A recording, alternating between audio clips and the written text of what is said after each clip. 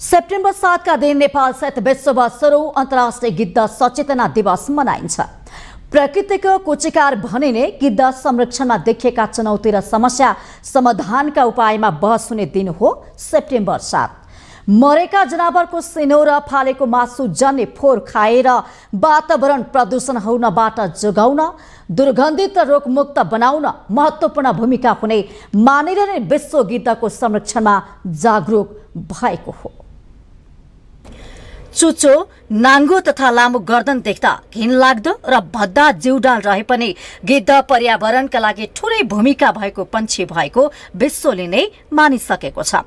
प्रकृतिको कुचिकार मानिने गिद्धले जनावरको सिनो र फालेको मासु जने फोहोर पदार्थ खाएर वातावरणलाई प्रदूषण मुक्त दुर्गन्ध मुक्त तथा रोगमुक्त बनाउन महत्वपूर्ण भूमिका खेलेको हुन्छ।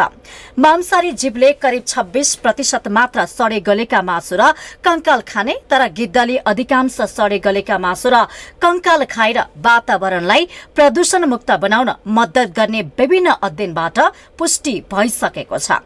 सन् उन्नाइस सय नब्बेको दशकमा नेपाल र भारत लगायतका दक्षिण एसियाली मुलुकमा गिद्धको संख्यामा एक्कासी एकानब्बे प्रतिशत भन्दा बढी गिरावट आएपछि सरकारी गैर सरकारी क्षेत्रबाट थालेको संरक्षण प्रयास योजना र कार्यक्रमले गिद्धको संख्या बढ्दै गएको छ।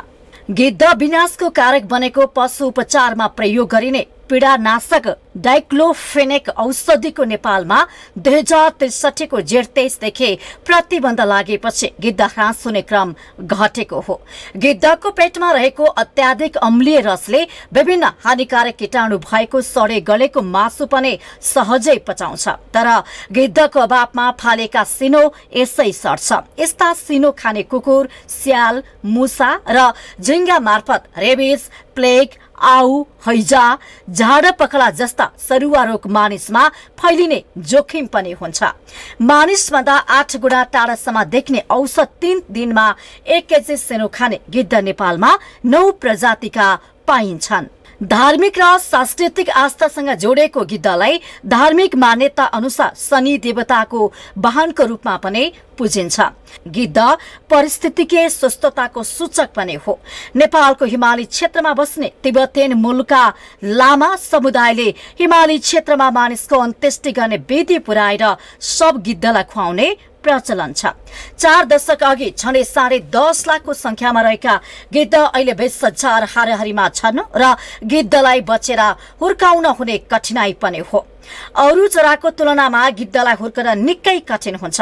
असोज महिनादेखि गुड बनाउन सुरु गर्ने गिद्धलाई बचेर हुर्काउन जेठसम्म पर्खिनु पर्छ औसतमा पैँतिसदेखि चालिस वर्षको आयु हुने गिद्ध छँदै चार वर्षको उमेरमा प्रजनन योग्य हुन्छ। चार वर्षको उमेरमा बनाएको जोडी छुट्टिँदैन। उनीहरूले गुड पनि प्राय एकै ठाउँमा बनाउँछन्। सकभर एक पटक बनाएको गुड अर्को वर्ष पनि मर्मत गरेर प्रयोग गर्छन् तर बच्चा हुर्काउन सकेन भने अर्को वर्ष त्यो गुण छाड्छन्।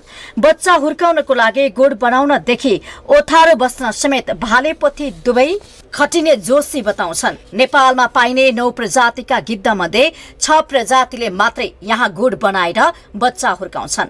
तीन प्रजाति प्रजनन बहेको समयमा बसाइ सराई गरेर आउने गरेका छन्। कठिनसँग हुर्केका गिद्ध सानो असावधानीले एकैपटक ठूलो संख्यामा मर्न सक्छन्। विष मिसाएको सिनो खाएर वा डाइक्लोफेनक लगायतका औषधि खुवाएका पशुको सिनो खाएर एकैपटक ठूलो संख्यामा गिद्ध मरेका उदाहरण धेरै पनि छन्।